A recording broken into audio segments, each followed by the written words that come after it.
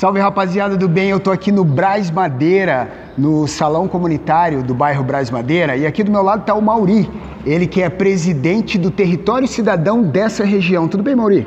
Tudo bem, boa tarde, meu amigo. Como é que boa tá? Boa tarde, beleza. Mauri, a gente está vendo essa situação que o pessoal do bairro Braz Madeira, através do Jefferson, dos meninos aqui, pediram para a gente dar uma olhada no, no, no, no abandono que está acontecendo, não de hoje, né? Há muito tempo no salão comunitário aqui do bairro Braz Madeira, onde junta vândalos, traz perigo para a comunidade e a comunidade não aguenta mais esse tipo de situação.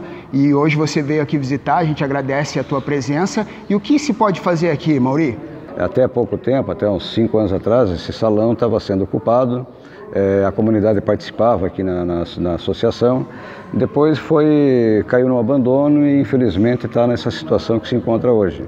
Mas a gente da comunidade, junto com o pessoal do Território Cidadão, nós estamos tentando viabilizar uma reforma para esse, esse, esse local. É, nós vamos dar uma olhada em que situação que está, porque como se pode ver aqui nesse salão, vai, vai bastante dinheiro para ser reformado. É, os vândalos destruíram bastante. Os moradores têm medo de passar aqui em frente determinados horários, né? Também, né? Porque está abandonado, né? Então, Exatamente. Gente... Então, para a galera do Brasmadeira ficar mais contente, a gente pode ter certeza ou talvez a gente consiga essa melhoria? Não, eu acredito que até nos próximos dias o poder público vem se manifestar em é, prol da comunidade e que em breve nós teremos esse salão reformado.